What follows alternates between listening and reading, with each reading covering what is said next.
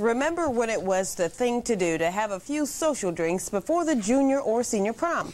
Well, the days of drinking before high school events are over. Students are now signing contracts promising to remain alcohol and drug-free on prom night.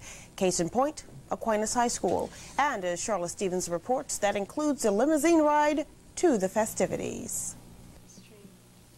How easy it is to remember those pre-prom butterflies when you watch these teens get ready.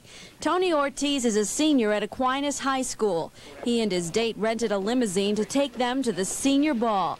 But before this night even arrived, these teens signed written contracts to remain alcohol and drug free for the entire evening. That includes the limo ride to Wilson Commons. And I think it's a really good idea because this being the first year that Aquinas has had their bash, it gives everybody a chance to experience something. Plus, they're going to have all the activities there. And you don't need to drink because everything is going to be right there for you.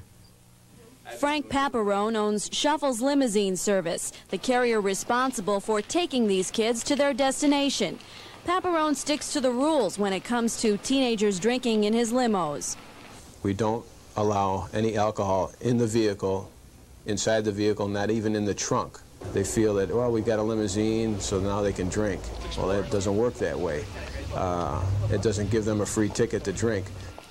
Aquinas and many other high schools are declaring their senior balls and junior proms alcohol and drug free.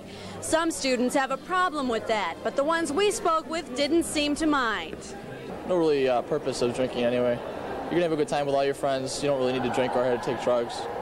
I really don't drink, and I just don't think it's really right for young people like us to drink at these events.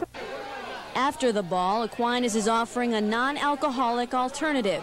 It's called Senior Bash, and students are invited back to school to party some more without alcoholic drinks or mind-altering drugs.